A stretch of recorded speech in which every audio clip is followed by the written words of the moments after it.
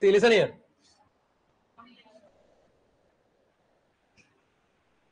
Okay, so here this is Q and this is R, this is S. This is S. Listen here. This entire height, this much is called Q. This much is Q. And this entire height from here to here, that is R. That is R. The relation between R and Q, relation between R and Q is the height of the Q is one fourth of the R or 25 percentage of R.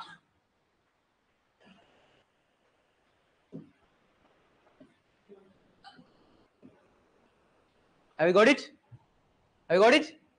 The height of the R, the height of the R, A, and height of the Q, height of the Q. This height of the Q is one fourth. One fourth means quarter.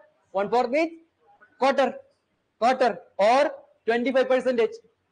If this is 100 percentage, one fourth means 25 percentage. Got it? Same. Orange. Four orange. Okati bag. Huh. Enta bag kavali. 25. Same here. What is that? 25 percentage is the height of that R wave.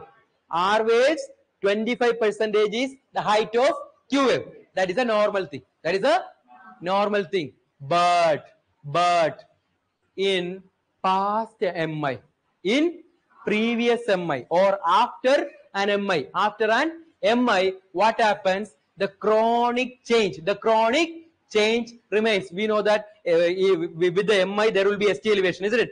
ST elevation, ST depression, isn't it? STEMI and NSTEMI ST elevated MI, non-ST elevated MI means ST elevation, ST depression, isn't it? Here what happened?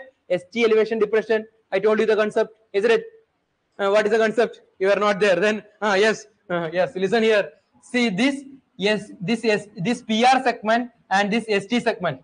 Pr segment and st segment. This should be in a same level. This should be in a same level. Normally it should be in a same level. Suppose this st is little bit above from the pr segment. That is called st elevation. If it is below st depression. So both should be in a same level. If it is above what is that called?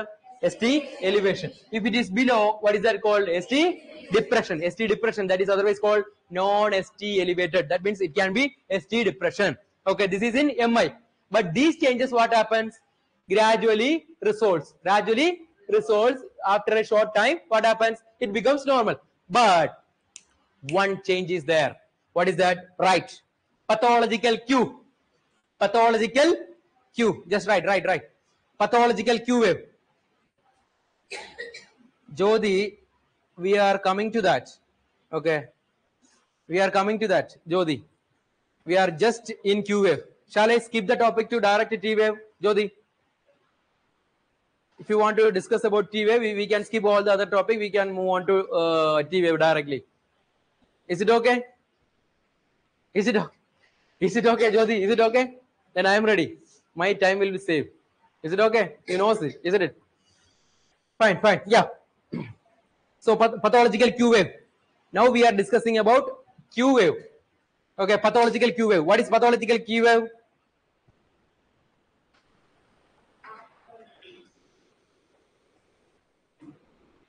yeah i know. I got it. I got it.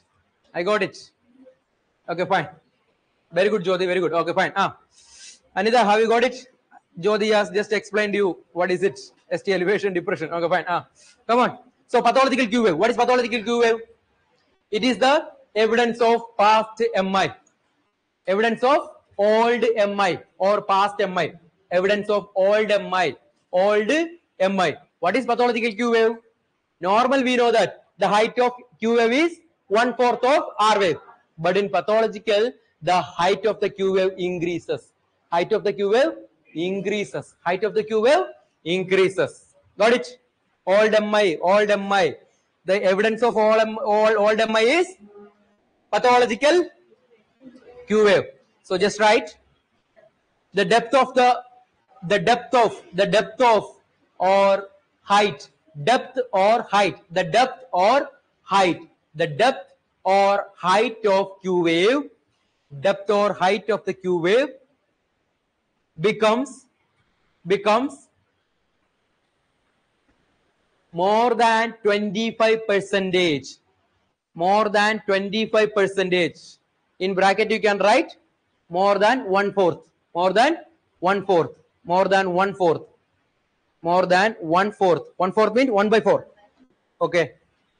Of that of r wave. Of that of r wave. Okay. So this is the this is the old mi marker. So what is the old mi marker? Which q wave? Which q wave? Pathological. Pathological or pathological q wave. Have you got it? Will you diagnose ecg from now on okay you have to check all the ecg so i am teaching you about ecg and you know ecg but you are not uh, trying to interpret. You can't you can't explore your knowledge okay? Whatever ecgs you are getting just go through it okay? First lead second lead third lead okay? Avr avl eh, okay v1 v2 vc V- v6 okay? St st is normal p is normal qrs is wide okay rr interval is wide yeah i know. There is uh, there is uh, some tachycardia or sinus tachycardia sinus bradycardia or ventricular problem. At least you can say okay p wave is abnormal. So atrial problem. Qrs complex is abnormal